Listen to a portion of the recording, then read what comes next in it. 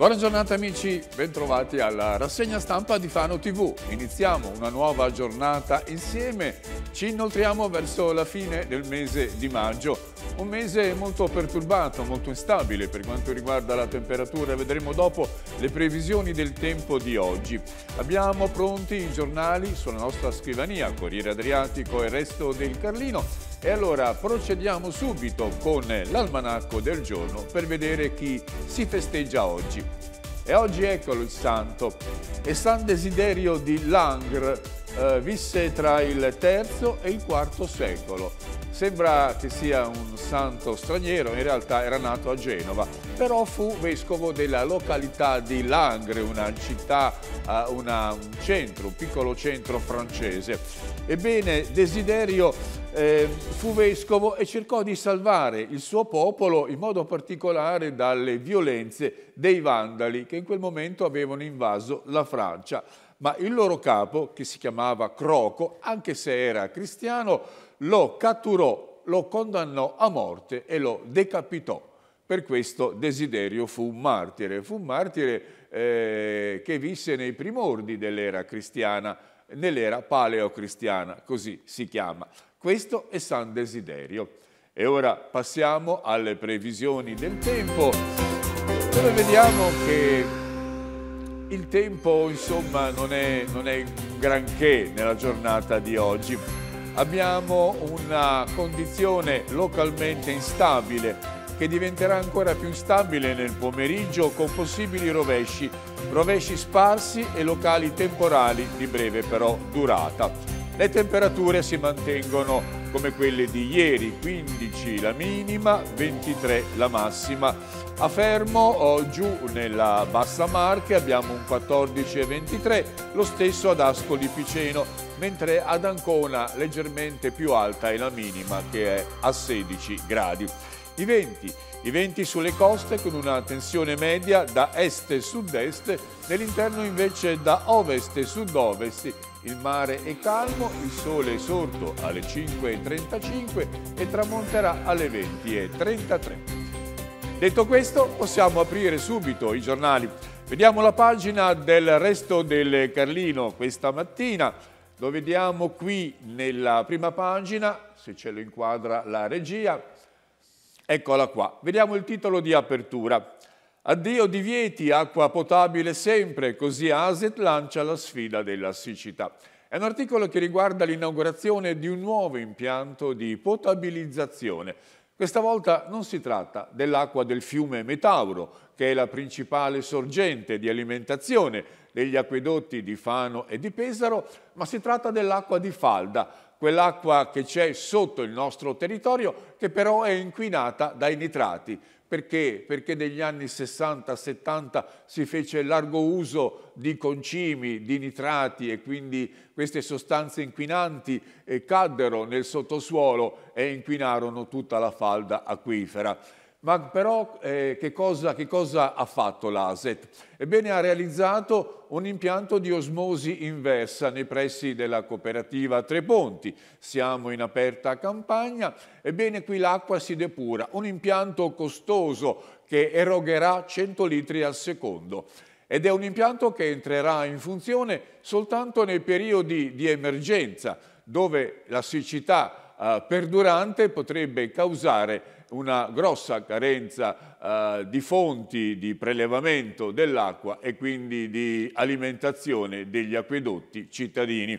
Quindi un investimento importante è stato inaugurato ieri dal presidente di ASET Paolo Reginelli insieme al sindaco di Fano Massimo Seri e al presidente della provincia Giuseppe Paolini. Poi c'erano tante altre autorità e c'erano soprattutto i tecnici, quelli che hanno realizzato questo impianto, i tecnici dell'ASET.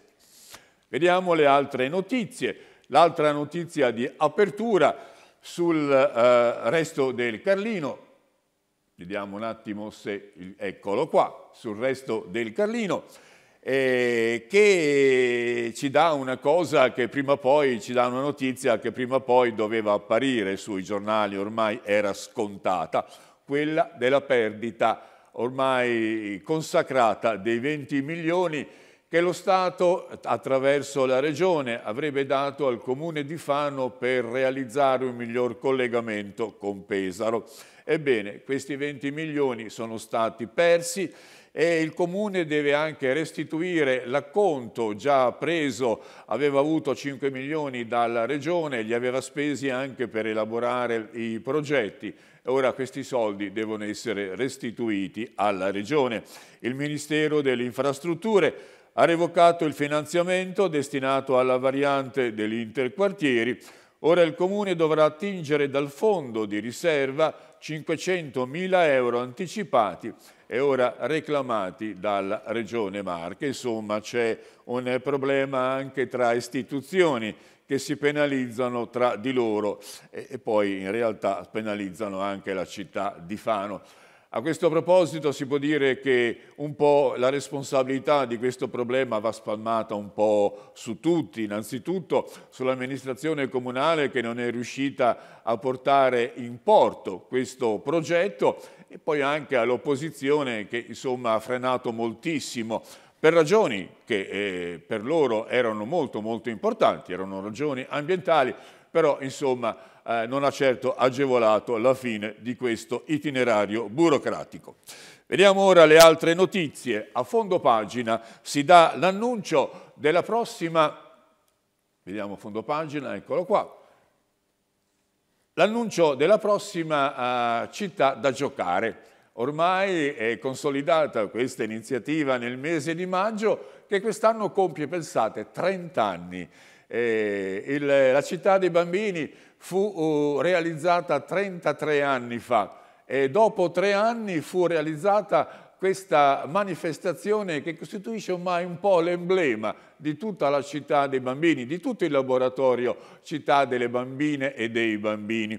Perché? Perché il Comune allora decise di dare una delle principali vie di transito dei veicoli motorizzati della città, la statale 16, che attraversa Viale Gramsci, ai bambini, chiuderla al traffico e regalarla ai bambini. Era un emblema, un emblema di principio che voleva dire che i bambini devono riconquistare i loro spazi gioco.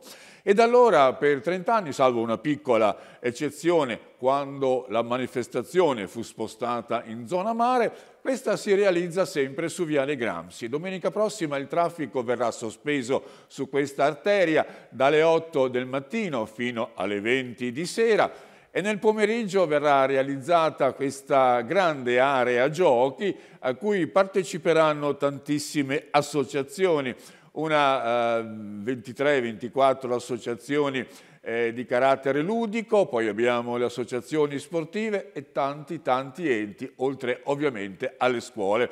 Le scuole parteciperanno alla grande, abbiamo la scuola di Sant'Orso che insisterà sul ruolo della bicicletta eh, per permettere ai bambini di muoversi in tranquillità, mentre eh, i bambini della Corridoni si riapproprieranno dell'area ex Agip, che per la prima volta sarà sede di una manifestazione eh, dopo che è stata così aperta al pubblico nella sua nuovo arredo e nella sua nuova funzione. Quindi segnatevi questo appuntamento sul calendario. Domenica eh, la città da giocare su Viale Gramsci, quindi famiglie, bambini, tutti coloro che vogliono passare un pomeriggio sperando nel bel tempo. In caso di cattivo tempo tutto si sposterà al 16 giugno prossimo.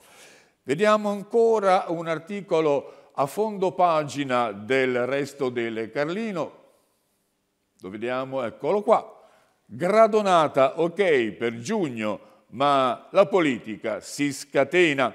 Ci sono lavori a Sassonia, l'assessore Brunori precisa, non verranno finiti a settembre, ma verranno finiti entro la scadenza di questa tornata amministrativa. Vi ricordate il titolo che aveva fatto ieri il resto del Carlino?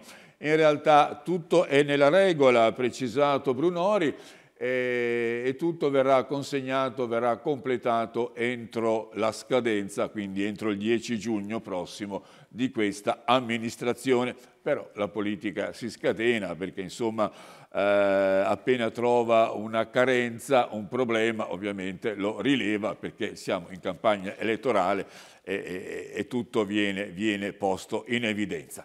Passiamo nell'entroterra. Ecco il giornale, passiamo nell'entroterra. Qui Così Sant'Ippolito riavrà il suo teatrino, lo ha promesso Marco Marchetti, il sindaco che ritenta un nuovo incarico. Eh, è una delle priorità indicate dal sindaco uscente che corre per il secondo mandato, stavolta da solo e quindi non ha concorrenti. Un teatrino per Sant'Ippolito è importante come centro di aggregazione e anche centro culturale. Mentre la Caritas di Marotta apre un centro di ascolto. Eccolo qua nell'articolo di Spalla. Apre un centro di ascolto, un nuovo servizio di assistenza nei locali della parrocchia di San Giuseppe, volontari al lavoro per rispondere ai bisogni, in modo particolare di coloro che hanno più bisogno. Il centro sarà aperto il lunedì dalle 17.30 alle 19 e il giovedì dalle 16 alle 18 e per contatti si può chiamare il numero 334 879 08673. Ebbene, questa è una bella iniziativa. Vediamo anche la campagna elettorale di Urbino. Sul turismo una programmazione triennale e il candidato sindaco Federico Scaramucci che rappresenta, che viene sostenuto dalla coalizione la città che verrà, ha illustrato le sue strategie per il rilancio del settore, del settore turistico. E qual è l'obiettivo di Scaramucci? L'obiettivo è quello di raggiungere 100.000 arrivi annuali sul territorio urbinate. Il nuovo modello di sviluppo, ha dichiarato, deve puntare di più sulla valorizzazione turistica e Urbino ha tutte le opportunità con la sua ancora perdurante atmosfera rinascimentale e di grande centro culturale dei tempi passati, ma anche dei tempi attuali, grazie appunto all'Università Carlo Bo, con cui Scaramucci vuole eh, stabilire un contatto molto stretto e molto pregnante. Vediamo ancora quello che accade a Cagli. A Cagli c'è un grande investimento di marche multiservizi, un nuovo sistema fognario eh, Marche Multiservizi vi investe 7 milioni di euro, lo ha dichiarato eh, l'amministratore delegato della Multi Utility Mauro Tiviroli. Un intervento strategico, ha, det, ha dichiarato, finanziato dalla struttura commissariale per il rifacimento della rete fognaria che in, quel momento, in questo momento è molto degradata e quindi merita delle risposte radicali. E qui si rifà tutto da capo. E 7 milioni veramente sono un grande, un grande investimento. Allora diamo un'occhiata anche alla pagina di Pesaro pubblicata dal Resto del Carlino dove, ampio, dove danno ampio risalto alla campagna elettorale. Vediamo il titolo di apertura, elezioni senza confini, più stranieri in lista. Sono 15, pensate, su 436 i candidati di origine non italiana. E un po' tutti i centri si aprono alla integrazione coloro che sono immigrati, che si sono stabiliti nel territorio, che hanno preso la cittadinanza e hanno preso la residenza, intendono anche loro collaborare alla, uh, al miglioramento della vita comune, ma anche alla bellezza della loro località. Sono dunque tanti i candidati, 15 su 436. È un primo piccolo nucleo, una piccola pattuglia che comunque è destinata ad allargarsi e loro sono storie belle di riscatto e di impegno sociale. Quindi eh, ci sono diversi, diverse forze politiche che hanno aperto le loro liste a coloro che sono di origine, non so, di origine croata, ma anche di origine eh, nordafricana. E poi vediamo invece le polemiche, le accuse del Partito Democratico Alex Amico. Servizi sociali, Boccanera attacca, negligenza e incompetenza. Ebbene, in questo caso abbiamo una presa di posizione dell'ex presidente della Gulliver e ideatore di Utopia, una bella manifestazione di carattere filosofico che a Pesaro incontra molti molti estimatori. Candidato con il centrodestra usa parole di fuoco eh, per quanto riguarda i servizi sociali, dunque il welfare. Il welfare lo gediscono bruciando solo risorse, danno i soldi alle cooperative e per loro è tutto risolto. In realtà non basta finanziare le cooperative, ma bisogna impegnarsi, ha detto appunto Boccanera in prima persona. E allora vediamo ancora quello che è accaduto, un, eh, un un incidente, un guasto ancora non è chiarito per quanto riguarda il CUP, quello strumento a cui tutti sono obbligati di fa fare riferimento per prenotare delle visite. Ebbene, CUP fuori uso, scatta la denuncia, oggi l'attesa normalità, intanto sono state perse 30.000 chiamate. La Regione ha presentato un esposto alla Polizia Postale per un presunto attacco di un hacker e la ehm, capogruppo del Movimento 5 Stelle, Marta Ruggeri, in Consiglio regionale, interroga per sapere veramente quello che è accaduto. Comunque un disservizio del genere, anche se non intenzionale, anche se non addebitabile ad una carenza precisa, è capitato così, un guasto meccanico può sempre capitare, ha causato tanti, tanti problemi. Vediamo ancora sulla pagina del, di Pesaro, eccolo qua, volevo farvi vedere questo articolo che riguarda una cronaca giudiziaria. Amori tossici, il processo. Lei gli incendia l'auto, lui la prende a morsi. Ebbene, una relazione molto turbolenta tra due persone e, e l'uomo è sotto accusa per lesioni. Il PM ha chiesto una condanna a sei mesi, ma l'udienza è stata aggiornata al 18 giugno e tutto è stato scatenato da una forte gelosia nutrita da lei questa volta nei confronti di lui. Tra i due c'era un rapporto sentimentale, lui avrebbe voluto troncare questa relazione ma lei non ne voleva sapere, per cui sono nate le liti, eh, i diverbi, ma anche questa volta le aggressioni. C'è stato appunto lui che ha preso a morsi lei eh, e quindi insomma nella guancia eh, lasciandoci proprio il segno della marcatura dei denti.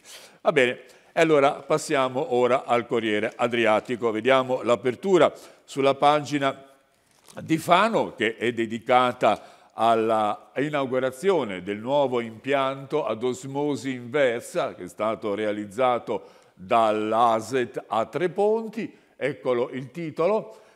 La nuova riserva idrica per Fano, potabilizzata l'acqua della falda. L'impianto garantirà un flusso di 120 litri al secondo. L'ASET rispondiamo alle richieste dell'estate.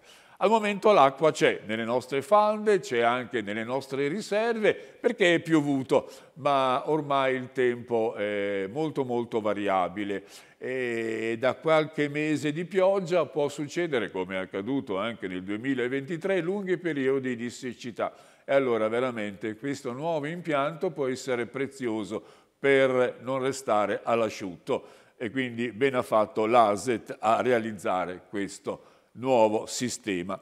E poi a fondo pagina invece abbiamo la replica di Barbara Brunori e siccome lei non può parlare come assessore ai lavori pubblici, parla come candidata, perché poi il problema del prolungarsi dei lavori pubblici nella stagione, nella buona stagione, è stato un tema molto molto dibattuto in campagna elettorale. Ci sono stati attacchi, difese e contrattacchi. In questo caso Barbara Brunori dice che le scadenze sono tutte rispettate e molti, molti lavori verranno conclusi entro il 10 giugno, ovvero entro la scadenza di questa amministrazione. E poi alcuni ovviamente verranno prolungati anche oltre l'estate, ma questo dipende anche dalle ditte che eseguono i lavori eh, per cui tutto è imponderabile per certi aspetti. Ambiente, cultura e digitalizzazione, la nostra visione della Fano del futuro. Il eh, Corriere Adriatico dedica anche attenzione alla presentazione della lista di un nuovo soggetto politico, ovvero la lista F, ovvero una città maiuscola più Europa. È una lista civica che è stata costituita uh, dall'assessore alla cultura Cora Fattori per eh, ripresentarsi al prossimo Consiglio comunale. Ci sono molte eh, priorità che vengono avanzate, per esempio Palazzo Marcolini dovrebbe essere adibito a laboratorio per i giovani e poi l'adeguamento di, di altre strutture come San Francesco, la Corte Malatestiana e ancora un parcheggio sotterraneo da 500 posti alla Paolini e poi ancora grande, grande attenzione al potenziamento del SIC, ovvero del sistema informatico comunale, dell'ufficio energia, dell'ufficio Europa, che tanto utile eh, si è rivelato per ottenere dei finanziamenti di carattere europeo però insomma eh, molti in questo caso tutti dicono faremo, faremo, faremo, però pochi dicono con quali soldi e dove li prenderanno soprattutto perché poi qualche capitolo resterà sguarnito per il trasferimento dei fondi da questa all'altra parte. Comunque sono belle queste priorità perché danno senso anche eh, della sensibilità, della cultura, della programmazione degli stessi candidati verso questo o quel settore e quindi l'elettorato può farsi un'idea di dove si indirizza poi la prossima amministrazione comunale. Viale Gramsci, Regno dei Piccoli, sarà una strada tutta da giocare. Domenica fuori le auto dal tratto della statale e la grande festa compie 30 anni, 30 anni sono veramente tanti e fanno veramente insegna anche ad altre località, ma anche ad altri paesi, ad altre nazioni, come si inseriscono i bambini nella vita sociale e politica della città. Con la costituzione del Consiglio Comunale dei Bambini, eh, che ha, non è un qualcosa così di carattere formale, è in realtà qualcosa che ha inciso nella nostra città. Per esempio ha fatto dei progetti. Vi ricordate il progetto dei passeggi che ora è all'attenzione dei tecnici per essere tradotto da una idea a un progetto esecutivo, ma tutto è nato dalla, dalle indicazioni che hanno fatto i bambini, gli studenti delle scuole e i piccoli consiglieri comunali del laboratorio Città dei Bambini. Quindi domenica grande festa su Viale Gramsci per famiglie e piccolini, grandi opportunità di gioco ma anche un gioco di carattere didattico, un gioco che potrà anche insegnare qualcosa ai bambini, non è solo fine a se stesso. I giardini di Viale Cairoli, la variante in consiglio, ma in questo caso, per questo articolo a fondo pagina, siamo a Fossombrone. Siamo a Fossombrone dove il vice sindaco Michele Chiarabelli afferma che entro giugno verranno inaugurati i giardini di Viale Cairoli, completamente ristrutturati una riqualificazione di circa 300.000 euro.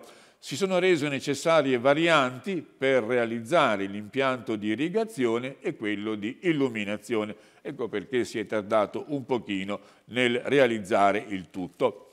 A San Lorenzo invece abbiamo alla ribalta eh, il sindaco Dell'Onti con la sua uh, forza politica eh, perché Dell'Onti poi si ripresenta, dieci anni di buone pratiche, questo è il biglietto da visita, ha detto il sindaco. Dell'Onti presenta la sua squadra rinnovata con una grande attenzione per cultura e turismo.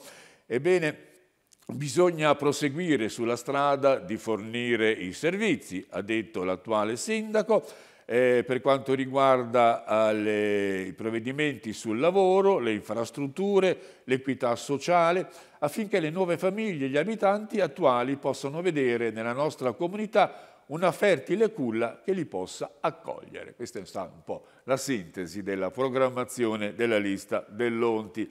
Vediamo anche la pagina di Senigallia, dove una proposta di vietare il fumo in spiaggia trova molti molti sì. E quindi viene accettata, ma viene accettata volontariamente dai concessionari di spiaggia perché non esiste una norma che lo vieti in maniera uh, formale.